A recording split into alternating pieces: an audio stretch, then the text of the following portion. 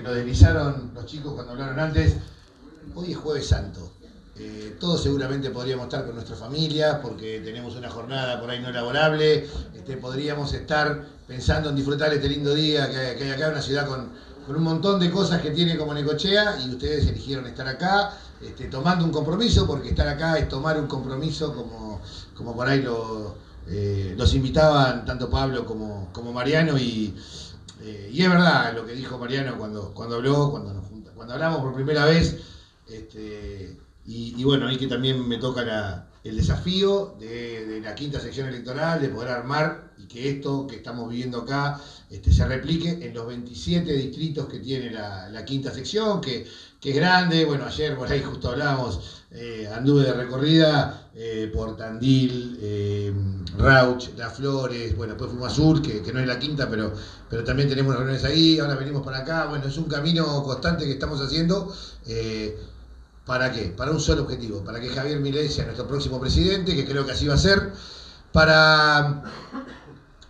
para tener en cuenta el rol de lo que nos toca. La quinta sección eh, es la, la, sección más grande del interior de la provincia de Buenos Aires, obviamente con una cabecera que, que, que es muy grande, que, que, es Mar del Plata. Eh, después viene Tandil, pero el tercer distrito de los 27 en cantidad de habitantes, en importancia, en relevancia. Eh, el, la tarea que van a tener son ustedes, es Necochea, con lo cual cuando Mariano hablaba del desafío, de la fiscalización, de, del que se sumen, de, del ir eh, haciendo el mano a mano con la gente y convenciéndolo y transmitiendo las ideas, lo mismo que, que, planteaba Pablo, este, que, que, Pablo se ha animado este, a hablar de temas que parecen tabú, como por ejemplo las plataformas offshore, no, muchos hablan eh, ni en Mar del Plata, ni en Necochea de, del tema de las plataformas offshore, porque tienen miedo que no sea políticamente correcto. Y a veces hay que decir las cosas que no pueden llegar a no ser políticamente correctas, pero son las mejores para la ciudad, porque te generan empleo, porque generan recursos este, y porque generan una Necochea este, mucho más... Eh, eh, mucho más acorde a los tiempos que vivimos. Como decía, creo que fuiste vos, Pablo, cuando dijiste que parecía que hace 50 años que está dormida la, la ciudad, y bueno, hay que pensarla de otra manera.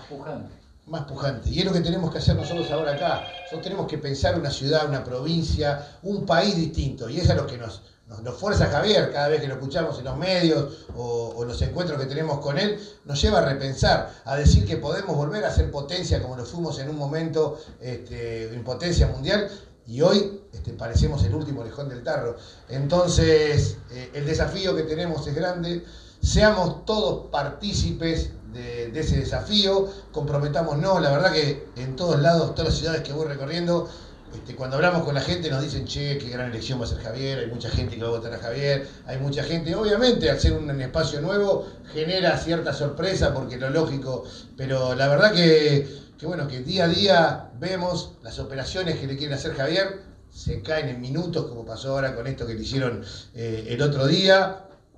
Eh, ahí veía un tuit hoy en donde decía que no es que, que los de enfrente eh, le tienen miedo, ya están entrando en la categoría pánico a, Javier Milei porque, porque, bueno, ven que se les va a escurrir de, la, de las manos una posibilidad que veían cercana y que la gente realmente hoy tiene una nueva alternativa y, y va a pelear por eso. Así que bueno.